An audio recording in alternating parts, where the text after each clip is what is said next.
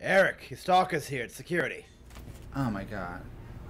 Jennifer Aniston? No, Is it the dame, Judi Dench? for God's sake. No? No.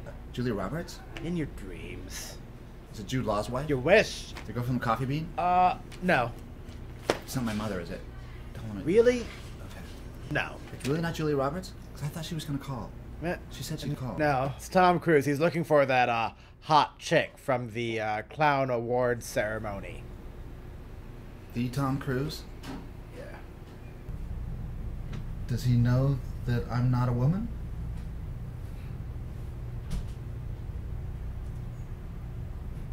Get my dress.